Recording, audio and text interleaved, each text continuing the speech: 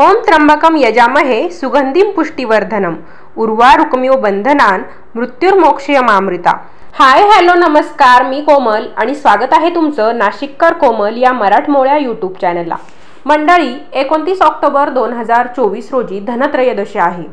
धनत्रयोदशीच्या दिवशी अकाली मृत्यूचं संकट टाळण्यासाठी यमराजांची पूजा केली जाते त्यांना दीपदान केले जाते. वर्षभरातून हा एकच दिवस असा असतो की त्या दिवशी यमदेवाची पूजा केली जाते. तर आजच्या व्हिडिओमध्ये मी तुम्हाला अकाली मृत्यूचे संकट टाळण्यासाठी आपल्या कुटुंबामध्ये कोणाचाही अकाली मृत्यू होऊ नये अचानकपणे मृत्यू होऊ नये यासाठी धनत्रयोदशीच्या दिवशी यमदीपदान नक्की कसं करायचं असतं कोणत्या वेळेत करायचं त्याचबरोबर कणकेचे किती दिवे बनवायचे एक दिवा बनवायचा की तेरा दिवे बनवायचे असा देखील प्रश्न तुमच्या मनात तयार झालेला असेल दिवे कोणत्या दिशेला ठेवायचे याबद्दलची सविस्तर माहिती सांगणार आहे. त्यासाठी तुम्ही व्हिडिओ पहिल्यापासून शेवटपर्यंत नक्की बघा आणि व्हिडिओ बघत असताना ओम नम शिवाय असं जरूर लिहा. चला तर मग आजच्या व्हिडिओला सुरुवात करूया. तुम्हाला मला आपल्यापैकी प्रत्येकालाच मृत्यूची भीती वाटत असते. त्यात अकाली मृत्यूची भीती जरा जास्तच होते. मृत्यू कधी येईल कसा येईल हे कोणीच सांगू शकत नाही.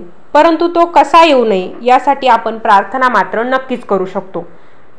त्यासाठीच आपल्या शास्त्रांमध्ये धनत्रयोदशीच्या दिवशी यमराजाला दीपदान करण्याचं सांगितलेलं आहे. तर काही ठिकाणी एक दिवा लावला जातो काही ठिकाणी तेरा दिवे देखील लावले जातात. तुम्ही एक दिवा लावू शकता किंवा तेरा दिवे लावले तरीही चालेल. एक दिवा लावला तर तो कसा लावायचा? तेरा दिवे लावले तर ते कसे पद्धतीने लावायचे? याबद्दलची माहिती मी तुम्हाला सांगते आता. मृत्यूची देवता यमराज हे दक्षिण दिशेचे स्वामी आहेत. दक्षिण दिशेला त्यांचं स्थान समजलं जातं. त्यांच्यासाठी धनत्रयोदशीच्या दिवशी दक्षिण दिशेकडे दिव्याचं तोंड करून आपल्याला दिवा दान करायचा असतो. आणि दिवा यमराजांना अर्पण करून अकाली मृत्यू येऊ नये अशी त्यांच्याकडे प्रार्थना करायची असते. त्यासाठी दिवे कसे बनवायचे? तर गव्हाचं पीठ घ्यायचं ज्याप्रमाणे आपण पोळ्यांसाठी कणिक भिजवतो त्याप्रमाणे ते कणिक भिजवायचं. कणिक भिजवताना त्यासाठी त्यामध्ये थोडीशी हळद टाकायची. हळद मिसळून आपल्याला ते कणिक भिजवून घ्यायचं. कणिक व्यवस्थित भिजल्यानंतर समजा तुम्हाला एक दिवा बनवायचा असेल तर तो तुम्ही थोडासा मोठा बनवायचा आणि चार मुखी दिवा आपल्याला लावता येईल. म्हणजे चार वाती आपल्याला त्यात टाकता येईल. अशा पद्धतीने तो दिवा बनवायचा. चारमुखी दिव्यासारखे त्याला तुम्ही डिझाईन बनवू शकता. आणि तेरा दिवे बनवायचे असतील तर ते एकमुखीच बनवायचे आणि तेरा एकसारखे दिवे बनवून घ्यायचे. दिवे बनवल्यानंतर त्यांच्यामध्ये आपल्याला शक्यतो तिळाचं तेल टाकायचं आहे. एक दिवा बनवलेला असेल तर त्याच्यामध्ये दोन वाती अशा क्रॉस करून टाकायच्या. म्हणजे त्यांचे चार तोंड तयार होतील. त्यामध्ये देखील तिळाचं तेल घालायचं आणि तो दिवा प्रज्वलित करायचा. तुम्ही तेरा दिवेसुद्धा बनवू शकता. तुमच्याकडे एक दिवा बनवण्याची पद्धत असेल तर एक बनवा. तेरा दिवे बनवायची पद्धत असेल तर तेरा बनवा. आमच्याकडे तेरा दिवे बनवले जातात. तेरा दिवे बनवायचे. प्रत्येक दिव्यामध्ये वाट टाकून तेल टाकून घ्यायचं. शक्यतो तिळाच्याच तेलाचा वापर आपल्याला त्यामध्ये करायचा आहे.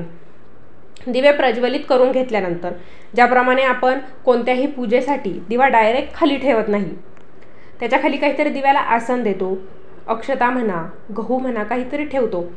तर या दिवशी यमदीप दानाच्या वेळेस आपण ज्यावेळेस तुम्ही दक्षिण दिशेला दिवे ठेवाल शक्यतो अंगणामध्ये दक्षिण दिशेला तुम्ही हे दिवे ठेवायचे हे दक्षिण दिशेला दिव्यांचं तोंड होईल अशा पद्धतीने.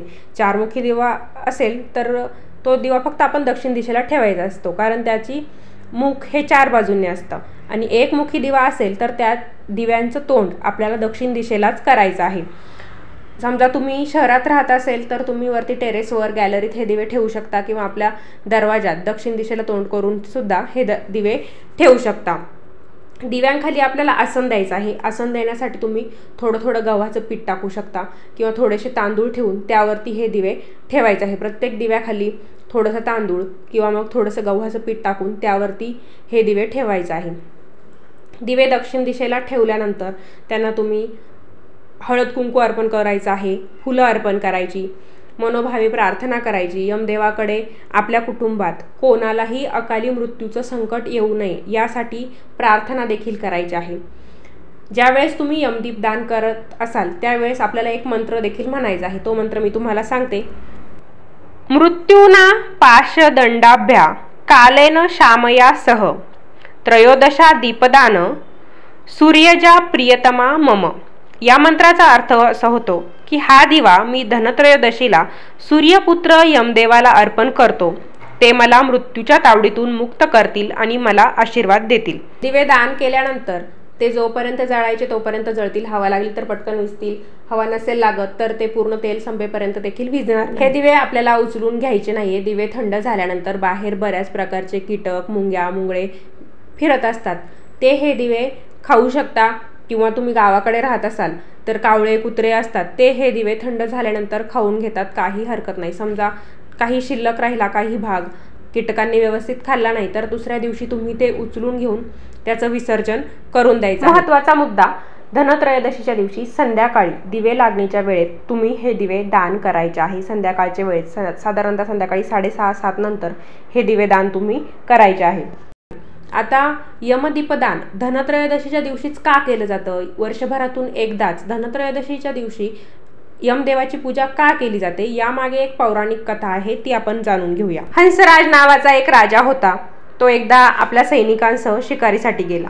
शिकारीच्या शोधात राजाची आणि सैन्याची मात्र ताटातूट झाली.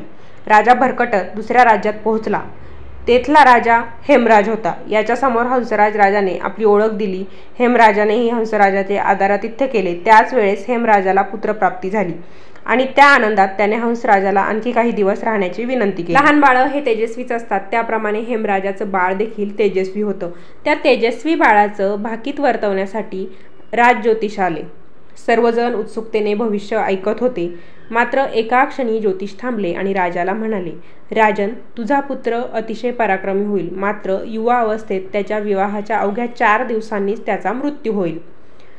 त्याचं भविष्य ऐकून हेमराज अस्वस्थ झाला. हंसराजाने आपल्या कर्तृत्वाच्या बळावर बाळाची जबाबदारी आपल्या खांद्यावर घेतली आणि त्याला अकाली मृत्यू येऊ देणार नाही असा शब्द देखील दिला.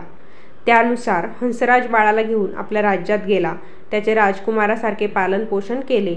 ज्योतिषांनी केलेल्या भाकितानुसार जो राजपुत्र होता तो खूप शूर पराक्रमी आणि महातेजस्वी बनला. त्याची कीर्ती सर्वत्र पसरली.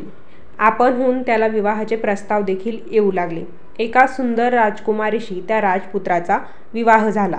सर्वजण खूप आनंदात होते. अचानक हंसराजाला राजज्योतिषांनी केलेली भविष्यवाणी आठवली. त्याने कडेकोट बंदोबस्त देखील केला. विवाहाच्या चौथ्या दिवशी दैवगतीनुसार यमदूत राजकुमाराला यमसदनाला नेण्यासाठी आले. परंतु हा लक्ष्मीनारायणासारखा जोडा पाहून ते देखील हरकून गेले. त्या राजकुमाराला अभय द्यावे असा विचार त्यांच्या मनात आला. यमराजांना ही बाब कळणार नाही याची त्यांनी खबरदारी घेतली. परंतु यमराजांना ही बातमी कळाली. त्यांनी यमदूतांना बोलावून घेतले आणि त्यांच्याकडून असे काही घडले असल्यास कबुली जबाब मागितला. त्यांना शिक्षा देणार नाही या बोलीवर बोल बोलते केले आणि सत्य वदवून घेतले. यमदूतांच्या सांगण्यानुसार खुद्द यमदेवाने देखील राजकुमार आणि राजकुमारीचा नवा संसार पाहिला आणि त्यांचे हे हृदय भरून आले. आणि स्वतः यमराज म्हणाले आपण सगळेच जण कर्तव्याने बांधील आहोत. मृत्यू अटळ आहे. तो कोणीच टाळू शकत नाही. परंतु जे कोणी कार्तिक कृष्ण ध त्रयोदशीला धन्वंतरीची पूजा झाल्यावर आत्मज्योतीच्या रक्षणार्थ मलाही दीपदान करतील त्यांना अकाली मृत्यू येणार तर यमदीप दानामागे अशा प्रकारची कहाणी दडलेली आहे. आता काहींचा याच्यावर विश्वास बसेल नसेल कथेतील सत्यता पडताळत राहण्यापेक्षा श्रद्धेने आपण यमदि यमराजांसाठी एक किंवा तेरा दिवे जर समर्पित केले तर आपल्याला अकाली मृत्यू येणार नाही हा दिलासा नक्कीच मिळेल. तर अशा प्रकारे आजच्या व्हिडिओमध्ये आपण धनत्रयोदशीच्या दिवशी यमदीपदान का केले जाते? यमदीपदान कसे करायचे? नक्की एक दिवा दान करायचा की तेरा? याबद्दलची सविस्तर माहिती जाणून घेतलेली आहे. तरीही तुमच्या मनात काही शंका असेल तर प्रश्न मला कमेंटद्वारे नक्कीच कळवा. पुन्हा भेटूया अशाच एका नवीन व्हिडिओसोबत. धन्यवाद.